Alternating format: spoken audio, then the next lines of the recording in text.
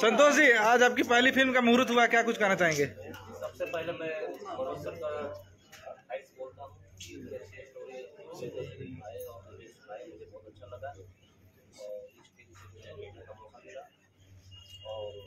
अच्छी बड़ी बात हमारे लिए ये है कि सर नई प्रोजेक्ट के लिए हामी सर मैं तहे दिल से इनको धन्यवाद करता हूँ बोलता हूँ और चाहूँगा कि आगे भी इनके साथ अच्छे काम करूँ और आसिया जी हमारे फ़िल्म के लिए सब बने इसके लिए, इनको भी बहुत से अच्छी और मुकेश जी जो हमारे भाई जैसे हैं, उनका मैंने काम को देखा शिकारी में बहुत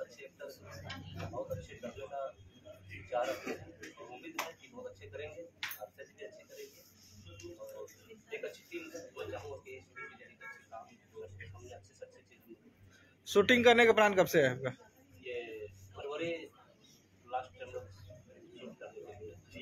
अभी तक कौन कौन से आर्टिस्ट आपकी फ़िल्म में क्लियर हो चुके हैं?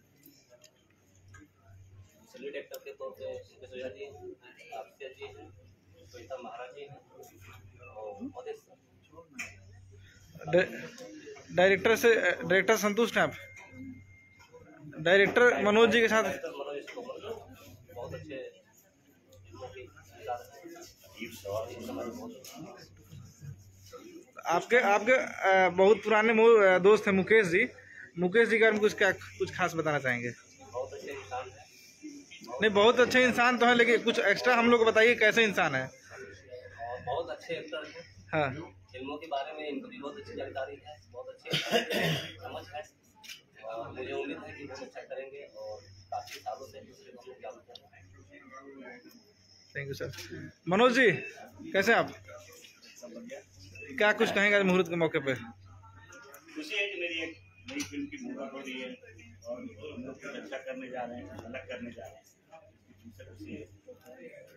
डेंजर्स इस क्या कुछ दिखाना चाहिए कहानी के बारे में कुछ बताएँगे? इस फ़िल्म इस फ़िल्म में हम इसका एक अलग रूप दिखाएँगे। आपने तो बहुत फ़िल्मों में देखा होगा है लेकिन इसमें आपको अलग मिलेगा। अभी मैं पूरा रिवील तो नहीं कर सकता हूँ, लेकिन ये, मैं बताना चाहूँगा कि ये फ़िल्म आपको देखने के बाद लगेगा कि आपने इस टाइप की मूवी पूरी में तो लेकिन सवाल ये है कि आप हमेशा ऐसा मार काट, ऐसा क्या क्या हो गया आपके साथ? ऐसा शिकारी में भी हमने देखा, और फिर आप डेंजरस इश्क भी ऐसा कर रहे हैं। हर चीज़ आपका डेंजर होता है। पत्नी से तो आप ज़्यादा पीड़ा नहीं है ना साहब उनके बोलिए हम लोग किसी को बताएँगे नहीं।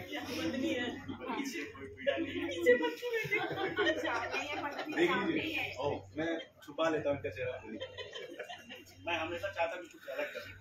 तो ये उसी का एक नया रूप है। कहानी तो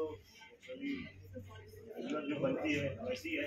लेकिन उसमें आपको एक देखने को मिलेगा। और मैं हमेशा मेरी कोशिश यही रहती है कि मैं कुछ अलग हो ताकि वो लगे कि वो फ़िल्म देख रहे तो कुछ नया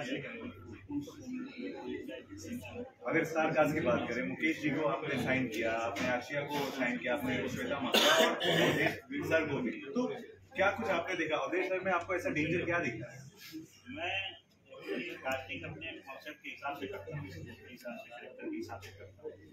इस बार जैसा करेक्टर था जिस हिसाब से था उसमें मुझे लगा कि साथ ही मुझे काम करना चाहिए ये करेक्टर उनके वक्त कोई नहीं निभा सकता है मुकेश के साथ मैं ऑलरेडी काम कर चुका हूँ तो उनके लिए भी जब मैंने लिखा तो मेरे दिमाग में था कि ये करेक्टर ये कर सकते हैं बहुत अच्छा से इसलिए मैंने उनको लिया और अर्सिया बहुत अच्छी एक्ट्रेस है मैं इनको जानता हूँ इनकी फ़िल्में देखी मैंने अभी तो मुझे लगा कि जो भी कास्टिंग मैंने की अपने कॉन्सेप्ट के हिसाब से। Thank you sir